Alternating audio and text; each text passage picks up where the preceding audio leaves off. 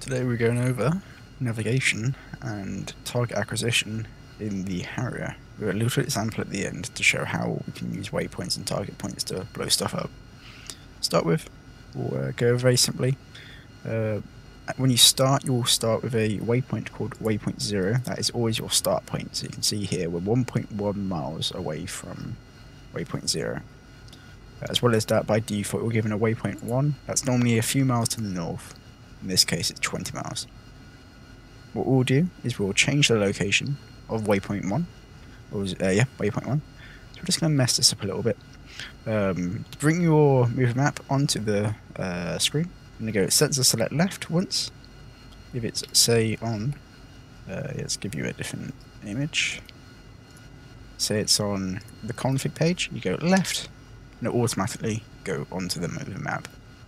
So I'm going to move the waypoint, so I'm going to go data. I'm going to check the top left. See it says map here? So what I'm going to do is I'm going to go sensor select up, and it says INS. We'll also lower the con or gain at this point. It's a bit easier to read.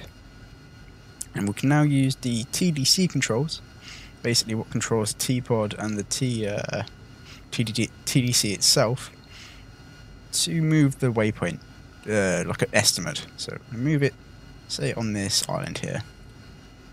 We'll use scale, zoom it in, just there looks nice. Next we'll add another waypoint, a new waypoint. So we'll click data twice to bring waypoint up, back onto the data page, and we'll type in, uh, you can either type in number 2 for waypoint 2, or what I do is I type in a big number like 50 and then enter, and it will give you the next, uh, like a fresh waypoint in the sequence. So star means new, and the new waypoint number is 2, so new waypoint number 2. Position, and then we'll start with north, and we'll put a waypoint in this village just here. And we'll be working off this format, two digits. It's going to be 2, 6, 5, 3, 4, 4, enter, easting, to 5, 5, 2, 6, 2, 7. Enter, that looks about right. Elevation, it's going to be about 50 feet, I'd say. Enter. So that's waypoint 1 moved and waypoint 2 made. How, we, how do we know this is correct? We can go data and then cycle to waypoint 2, waypoint 1 and then waypoint 0 as well. So, how do we make a line from our point to waypoint 1 and waypoint 2? Put quite simply, go off onto the normal navigation, uh, moving map with the green text, go map and select overlay and then you'll get a line. As well as that you can click SEQ for sequencing, you will get numbers on the waypoints as well. Going off map now, we're going to put in a target point through data link I should add. So we're going to select the markers.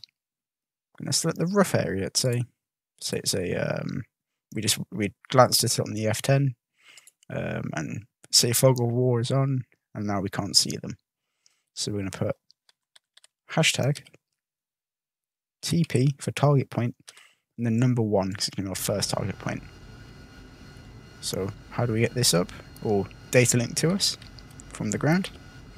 If you look on your kneeboard on the second page, you'll see your target list, MGRS, uh, or MGRS will give you the elevation and the time in which it was given to you. And you do this by right shift, right alt, and 8 on the keyboard, like so.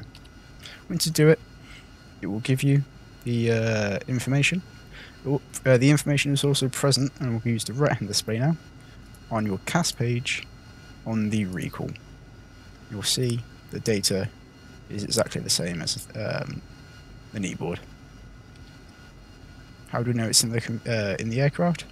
Well, you might notice um, it's not really on the display yet. We have waypoint 0, 1 and 2, as you see. So to get waypoint, uh, or target point 1, you will push and hold waypoint increment, which is this button. Very important in the Harrier. You will click target point, select target point 1 on the UFC, then enter. We'll now go data. We'll zoom in a little bit and you'll see it's on the road where it should be. I'm going to go back to waypoint now, so push and hold. Select waypoint, I'm going to go to waypoint 1. Enter. So it goes back to waypoint 1. And I'll get airborne and we'll go over some other stuff. Right, we're airborne uh, heading to waypoint 1. I'll now press the waypoint increment button that we used earlier to select a uh, waypoint. We're just going to push it. You see, we have selected waypoint 2 on the HUD. Now, you might see it's not uh, present on the HUD as a circle to where we're going. Uh, make sure you're in nav mode, that's the first step. Uh, and then make sure you're on the right heading. So you can see here, we're not on the right heading. So we're going to turn to the left, follow this solid line. There it is. That is waypoint 2. Nice and easy. So we're approaching our target point, target point 1. So we're going to arm the weapons, air to ground mode. We don't have to go onto the stores page. The EFIS automatically, or the movement map automatically turns into a uh, stores page. I'll go to see on the top. So we have our IR mavs, APK, and our JDAMs. We're going to select JDAMs. I'm going to arm them. We don't want to touch the uh, targets just yet. The terms for the targets. I'm going to push and hold waypoint increment so we can select our target point 1 and press enter. You can see T1 is now present and we're going to designate it with our DMT. We're not going to use a T-pod today so select or uh, designate box designate button. now you can now see a uh, diamond sideways square has appeared. We'll now go sensor select down and you can see we have slaved our TV in the nose to that waypoint. You can see we're off a little bit. This is to be expected. We're uh, for simulation stake or uh, what's it called? Um, for simulation purposes, training purposes, we're just uh, estimating as if it was like a JTAC or on the uh, F10 map, like in Hoggit. So we've got a uh, we've marked our uh, put our pipper over the target we're now going to override or rewrite target point 1. I click TOO. It'll automatically think you want to make a new one. We're not, we're just going to say target point 1, enter. That will then rewrite it. To check this, we can go nosewheel steer button to undesignate. You can see our DMT is now slave to our pipper or velocity vector.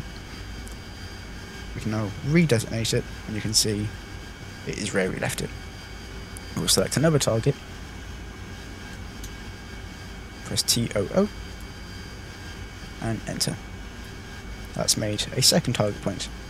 We do the same for the last two. TOO. Free. A little bit off. TOO. Free. Clear that. And TOO 4.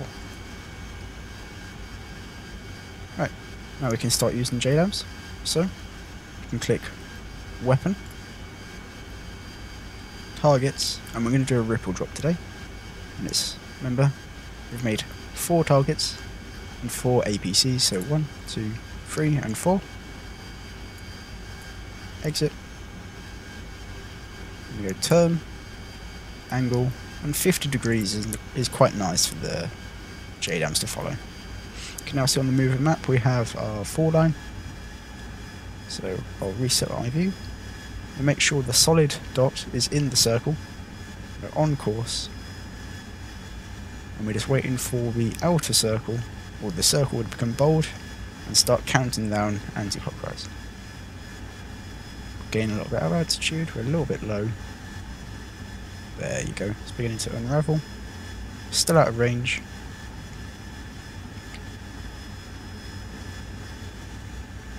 We're now in range. You can see we got our percentage of drop. So I'm going to throttle down a little bit so we have enough time.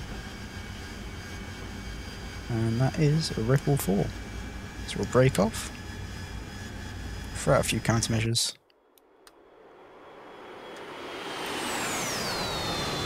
Make sure AFC is on. Turn on altitude hold. And you see That is four shacks.